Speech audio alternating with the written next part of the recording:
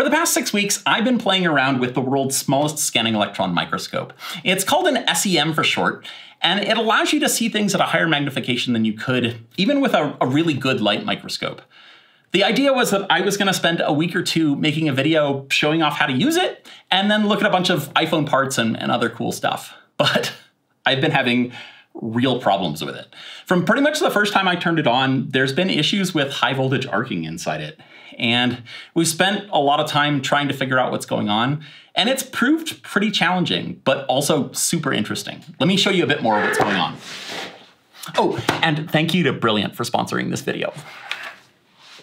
We built a demonstration to show you what's happening inside the machine where we can all see it. This is a, a 10,000 volt arc, and it's jumping a gap of about four millimeters. And it's pretty similar to what's happening inside the SEM, except instead of jumping between two balls, it's jumping between random components and other bits of metal. And as you can probably guess, this is pretty bad for the machine. We'll, we'll come back to this in a minute. But why does an SEM need such high voltage? On a light microscope, the photons from the light bounce off whatever we want to look at, go up through the glass optics, and get focused onto a sensor, either a camera sensor like this or you know my eyes uh, forming an image. On an SEM, it works similarly, but sort of inverted and using electrons instead of photons.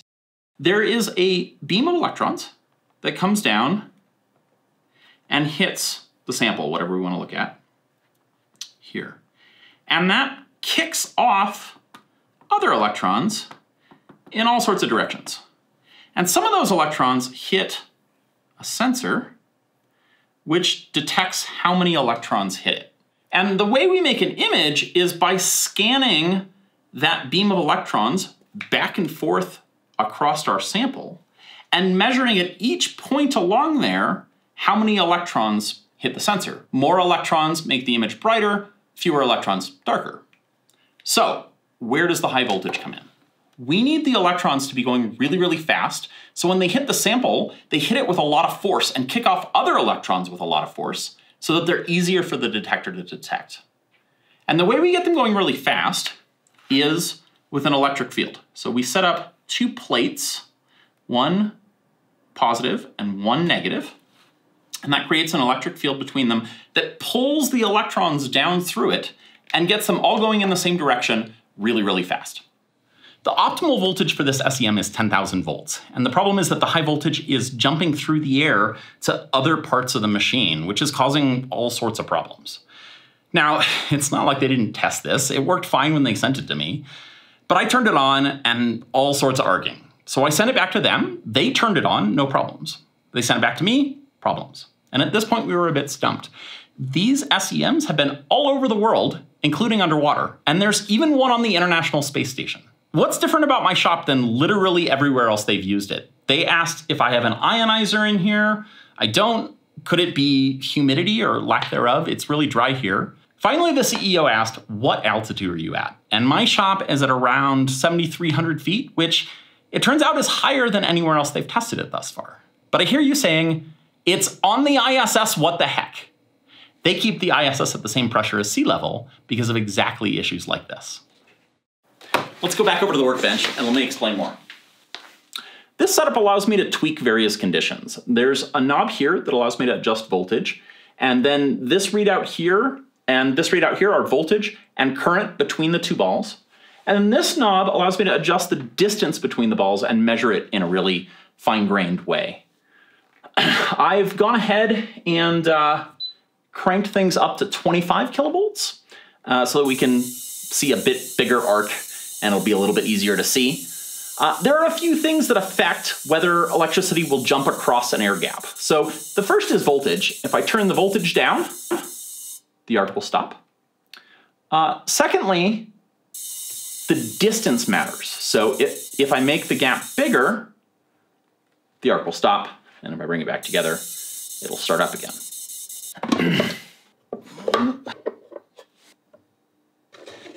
Next, the, the shape of the electrodes matters. So points make it easier for arcs to form. And so even though you can't really see much, there's actually current flowing here.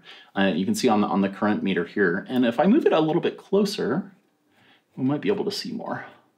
So there's a little purple glow on the tip of the point. But lastly, the air itself matters. What's in the air, things like humidity and other particles or gases, but importantly, the pressure, uh, which changes with altitude.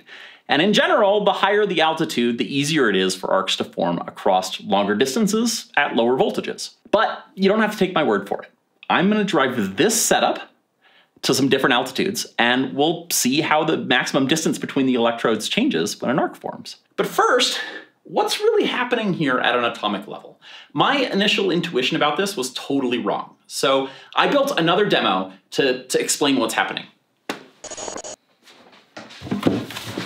Let's talk about electric fields. This represents an electron. Right now it's just sitting here chilling. And these represent two pieces of metal, both of which have some electrons that are moving freely within them. And let's say we start to move electrons from one side to the other, creating a voltage difference. And we call the side that has too many electrons the negative electrode, and the side that has too few the positive electrode. So electrons repelled by negatively charged things, attracted to positively charged things. So our free floating electron now gets pulled towards the positive electrode. Now, if we increase the voltage difference even further, that electron goes faster and with more force. This represents a gas atom. We're gonna say it's nitrogen because we're talking about air. This is an electron that's in orbit around that atom, and the atom really doesn't wanna let go of it. However, if an electron hits it hard enough, that electron can get popped out of orbit. Okay, so we got the basics. Let's put it together and talk about how electric arcs happen. So, nitrogen atom chilling in space, floating around between our two electrodes. Let's say something hits the negative electrode, like a, an X-ray or a photon, and causes one of these electrons to get popped off. It gets pulled down towards the positive electrode, and if it hits our nitrogen atom, it can pop an electron out of orbit. So now one free floating electron has become two. But what happens when we have a whole lot of nitrogen atoms floating around all with their own electrons? It causes a cascade effect that multiplies, and this is called Townsend discharge, or perhaps more aptly, a Townsend avalanche. And one free electron turns into two, which turns into four, and then so on. And this creates a flow of electrons between the two electrodes, which is the electrical arc. Now, not all of the electrons flow all the way to the positive electrode. Some of them rejoin a positively charged atom that's had its electron knocked off. And when an electron rejoins an atom, it lets off a photon, which is light, which is why we can see the arc. So, how do we prevent this from happening? Well, as I showed with the high voltage demonstration, if a number of things aren't just right, it won't happen. First, if, if the atoms are too far apart, the electrons won't have a high enough chance of actually hitting something before they reach the other side. Second, if the atoms are too close together, then the electrons can't get going fast enough to pop an electron off. Third, if the voltage difference between the two sides isn't big enough, or the two sides are, are, too far apart, the electrical field won't be strong enough to get the electron going fast enough to hit an atom and pop off an electron. In our electrical arc demo, we can move the two electrodes further apart, or we can turn the voltage down, or we can add some insulation between them. But what about the spacing of the atoms? That's air pressure, and air pressure changes with altitude. So up here at 7,300 feet, the atoms in the air are further apart. So the electrons have more space to get up to speed, which makes it easier for them to pop electrons off atoms, causing electrical arcs to form. And when they were designing the SEM, they tested it close to sea level. And they did add some safety margins, which were sufficient when they've tested it places like Denver, which is at around 5,000 feet. But apparently 7,300 feet is high enough that it's over the margin of safety. But don't just take my word for it. Let's go for a drive and actually test this at different altitudes. We're gonna crank it up to 25 kilovolts so we can see things a little bit better. And here in the shop at 25 kilovolts, the maximum distance that an arc starts is at about 10.2 millimeters. So let's hit the road and see how it changes based on altitude.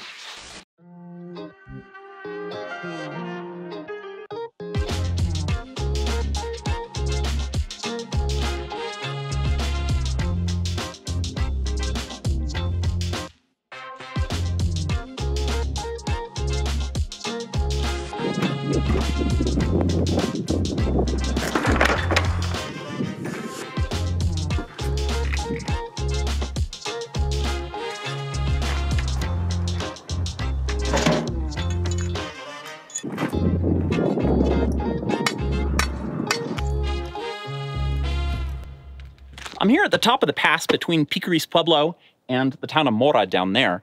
Uh, it's about 9,400 feet here, and because the air is less dense than at the shop, the arc should travel further. So let's see. Sure enough, the arc now starts at 11.3 millimeters instead of 10.2 down at the shop. Now, let's drive down to a lower elevation, and it should get shorter.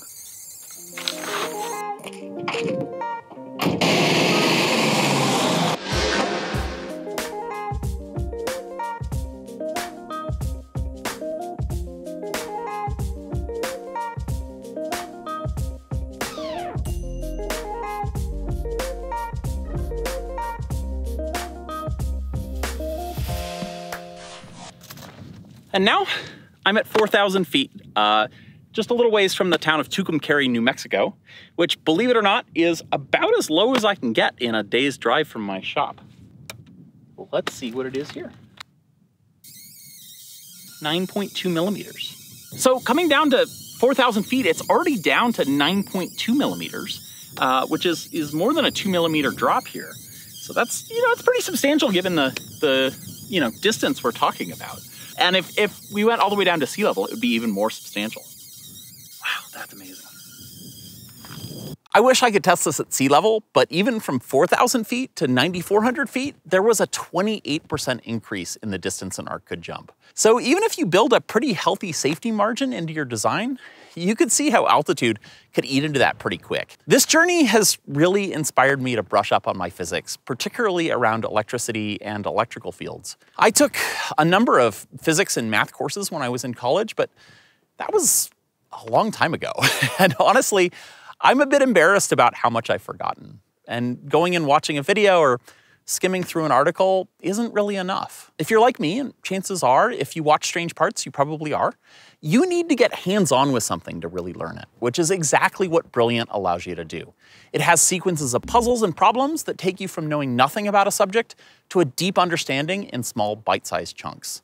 And if you get an answer wrong, it tells you exactly why, so you can correct your misunderstanding. They cover all sorts of different areas of math and science, including electricity and magnetism. So if, like me, this video has inspired you to dive more into the fundamentals of how electricity works, I encourage you to check it out. To support Strange Parts and give Brilliant a try, go to brilliant.org slash strangeparts and sign up for free. The first 200 people that go to that link will get 20% off their annual subscription. So when are we gonna get to see this SEM work? I don't know. The manufacturer is still working out exactly how to fix it after many, many attempts. I'm running out of time to spend helping them try and fix it, but hopefully I'll be able to make a video showing it off, even if it's not working perfectly. I'll see you again soon.